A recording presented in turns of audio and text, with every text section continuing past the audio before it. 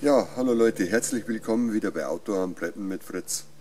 Heute am 1. Januar 2022 möchte ich euch natürlich ein gutes neues Jahr wünschen und alles, was ihr euch wünscht, soll in diesem Jahr in Erfüllung gehen und bleibt gesund. Ja, viele verwechseln natürlich, dass ein Stromausfall nicht gleich ein Blackout ist und der Unterschied zwischen einem Brownout und einem Blackout ist eben doch ganz deutlich.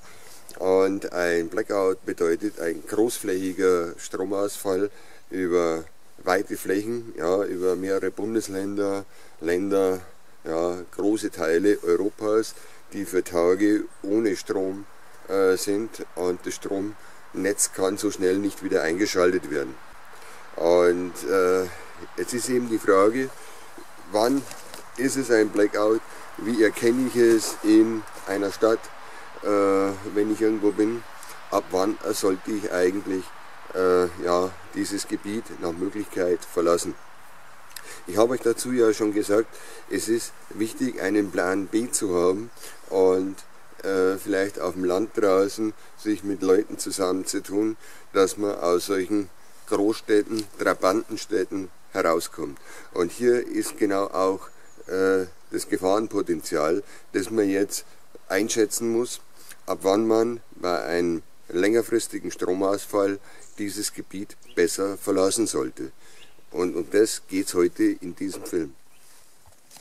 Ja, in diesen Tagen stellte also jemand in einem Prepperforum auf Facebook die Frage, ab wann man eine Stadt verlassen sollte, äh, wenn es zu einem Stromausfall kommt.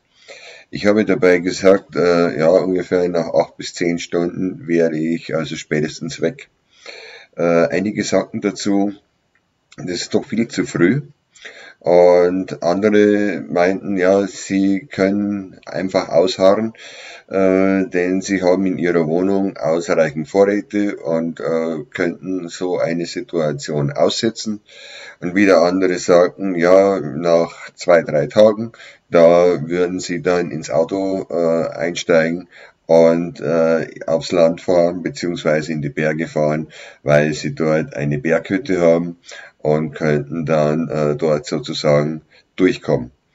Die Frage ist allerdings, wo bin ich eigentlich genau? Wie ist mein äh, soziales Umfeld? Und äh, ab wann muss ich mit äh, Ausschreitungen ja, einer Art Zombie-Apokalypse eigentlich rechnen. Und das ist nämlich der ausschlaggebende Punkt, wann ich eigentlich eine Stadt verlasse, und zwar bevor es gefährlich wird. Das ist der ausschlaggebende Punkt. Und das äh, kann man also nicht äh, einfach pauschal sagen, wann das ist, sondern es hängt einfach davon ab, wie mein Wohnumfeld ist. Das heißt, wenn ich in einer normalen Stadt bin, äh, mit Einfamilienhäusern, Reihenhäusern, äh, einer nicht allzu dichten Bebauung, werde ich diese Situation wahrscheinlich wesentlich besser überstehen, als wenn ich in einer Trabantenstadt in einem riesigen Wohnsilo wohne und vielleicht äh, das ganze Viertel mit äh, solchen Wohnsilos zugepflastert ist, dann werde ich dort wahrscheinlich in einem wesentlich schwierigeren sozialen Umfeld sein. Und äh, man muss sich einfach nur äh, mal vorstellen, was eigentlich passiert. Wenn der Strom weg ist, wissen wir, es gibt kein Wasser, es gibt keine Heizung, wir können nicht kochen, der Kühlschrank funktioniert nicht mehr, Abwasser und Toiletten funktionieren nicht mehr. Man kann sich also gut vorstellen, dass nach einigen Stunden die Toiletten voll sind, äh, das Abwasser nicht mehr wegfließt und was dann eigentlich in äh, diesem Wohnsilo sozusagen passieren wird. Aussitzen, die ganze Geschichte in so einer Wohnung dürfte auch etwas schwierig sein, wenn wir uns nur überlegen, dass auch der Nachbar irgendwie versuchen möchte zu kochen, irgendwie versuchen möchte zu heizen. Und wenn das Wasser und damit auch das Löschwasser nicht mehr ausreichend äh, vorhanden ist. Wenn wir keine Notrufe mehr absetzen können, kann man sich also sehr schnell vorstellen, äh, dass es irgendwie brenzlig wird, wenn es eben Nachbarstockwerk oder nebenan äh, zu einem Feuer kommt, dann werde ich das Ganze in meiner Wohnung auch nicht mehr aussitzen können, sondern dann bin ich gezwungen zu flüchten.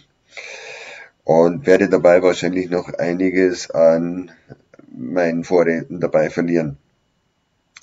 Ein Problem wird auch sein, in dem Moment, wenn der Strom weg ist und ich in so einer Trabantenstadt lebe, dass mein Auto in einer Tiefgarage ist und dann stellt sich schon mal einfach nur die Frage, wie bringe ich das Rolltor von so einer Tiefgarage eigentlich auf, dass ich mit meinem Fahrzeug, auch wenn ich noch Sprit drin hätte, rauskomme. Das heißt, ich habe also in diesen Gebieten ein äh, ganz anderes Problem, als wenn ich weit auf dem Land draußen wohne. Deshalb mein äh, guter Rat eigentlich dahingehend, ich habe ein Radio, ein Batterieradio, ein Kurbelradio und in dem Moment, wenn der Strom weg ist, werde ich also versuchen rauszukriegen, was eigentlich passiert ist.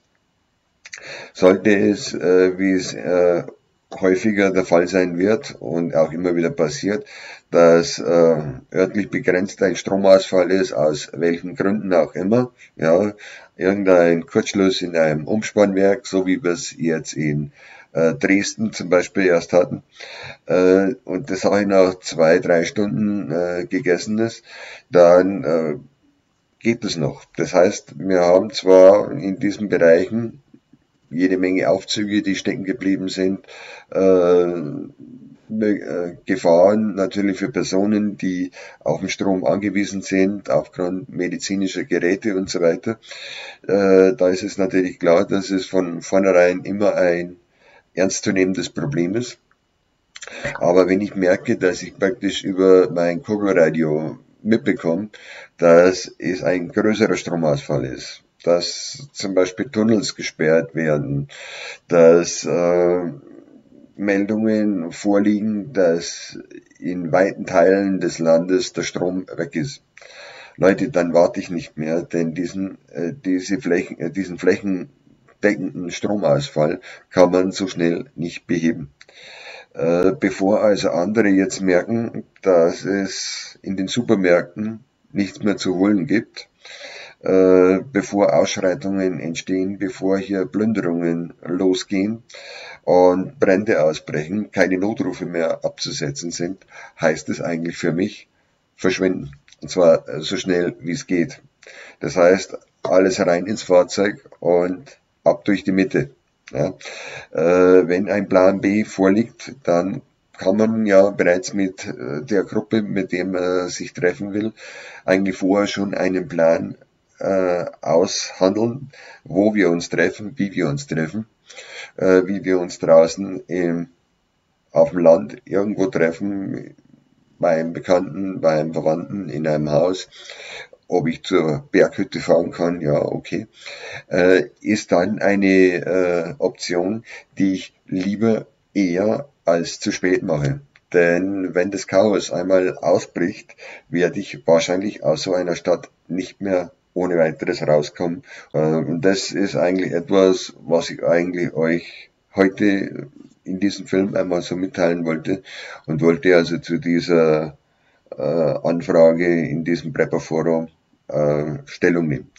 Im nächsten Film, äh, der eigentlich schon in der Planung ist, äh, möchte ich auf die aktuelle Stromsituation eingehen ein äh, kurzer Tipp dazu. Autor Kimgau hat an äh, Silvester dazu einen äh, Film gebracht.